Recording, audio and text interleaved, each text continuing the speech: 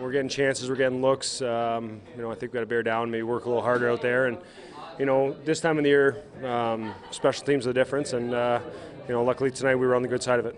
You know, taking a 3-1 lead is uh, was important for us, but at the same time, we're a long way to go. You know, they say the fourth game is the hardest to win, and you know, it is our last home game, so there's still the pressure there that. Um, you know, we have to finish doing the job. Uh, otherwise, you know, the job is still tough for us to go there and, and, and win one game. So, um, you know, we're going to look to have our best game on Friday, and uh, hopefully uh, that we come ready. Uh, it was kind of like a broken play. I mean, uh, Rod's made a good play right before that. I was in, tried faking uh, shot, and got poked away, and came back to Matsumoto up top and made a good pass to Rods, and Rods really sold the shot and hit me, and you know I was kind of wide open. I had lots of time, and you know I made sure uh, put that one in. Immer's been stellar ever since he came to the playoffs, uh, since he's been starting, and you know tonight was no exception. He uh, he was unbelievable to stack the pad save, and uh, know he just he makes the saves when we need them, and uh, it's really uh, comforting to know we got uh, a rocket back in the net.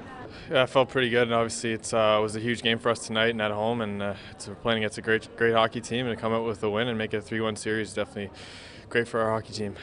Can't tell you how great the city is to me. I mean, it's it was so nice to move here and all the support they give us, and you know, every single night I want to win for this the guys in the dressing room and the city of Charlotte. You know, they're they're the best. Well, the, the guys battled. They really battled hard. I thought, uh, you know, third was probably our best period. Uh, obviously, uh, you know, getting the goal early and got, gave us some life. I thought uh, second period uh, we kind of hung Murphy to dry a little bit. There we got a little loose defensively, and you know they threw a lot of pucks to the net, and you know we took some penalties in a row there, and, and our, our PK did a great job. Uh, you know, keeping us in the game. And uh, but yeah, I'm, I'm real happy with the effort. Well, I mean, nothing you know nothing changes in the sense that uh, you know our mindset going into the game is going to be the same. Um, we don't we don't look too far ahead. We're not going to look back at the last game. Um, I know we can be better, and, and, we're going to have to be better. Obviously, that team, uh, you know, they've, they've, proven all year what type of team they are, and, and we got to be ready right from the drop of the puck get going.